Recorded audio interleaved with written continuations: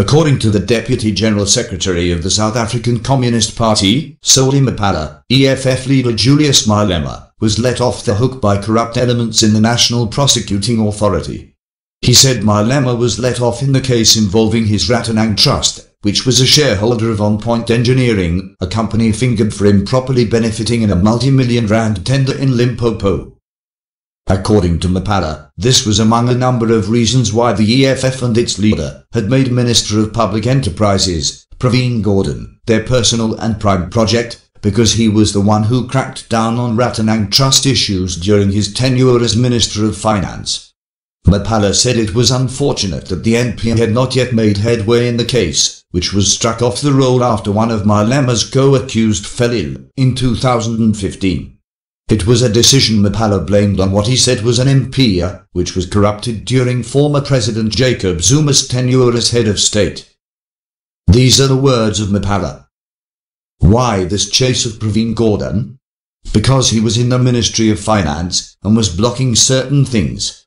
The interest of the EFF in Comrade Pravin is that it was under his leadership that Ratanang Trust, solely owned by Malema, was investigated by the South African Revenue Service and by Public Protector, Thuli Madonsela, and was found to have been involved in malfeasance and fraud. There was one beneficiary of the trust, Julius Sello Malema. That is the point the media should be pursuing as to what finally happened with that issue. At some point there was supposed to be a criminal case, but the people at the NP, uh, the majority of them were corrupted, so this case did not go anywhere. However, the EFF leader has previously said he had nothing to hide and dared the NP to make a move. During an EFF press conference in Cape Town last month, responding to the SACP and Ahmed Kathrada Foundation's announcement of the Defend Democracy movement, Malema said he would not be silenced by mentions of the NP. We have no issues with the NP because the NP has the power to charge whoever they want to charge.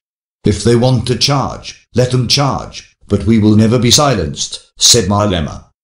Mapaila said Malema's attack on Gordhan was also motivated by the fact that SARS was closing in on a corrupt friend of Malema, businessman Adriano Mazzotti. Mazzotti is a friend of Malema, and a man who made a donation for the EFF to register with the IEC for elections in 2014. Now this man Mazzotti has been in conflict with SARS regarding illicit trade of tobacco. So there is one thing there which can be linked up, because the dominant person in fighting this has been Pravin Gordhan. Malema has on multiple occasions denied this.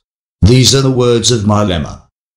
If Mazzotti has got problems of tax, and if Mazzotti is engaged in illicit cigarettes, they must arrest him. We have nothing to do with Mazzotti's business. They keep on saying Mazzotti this, Mazzotti that. They have the power and authority to arrest him, so we are not going to be deterred by Mazzotti criticism. Please check in the description box below for the links to the sources of this report. Thanks for watching. Please comment, like, share and subscribe.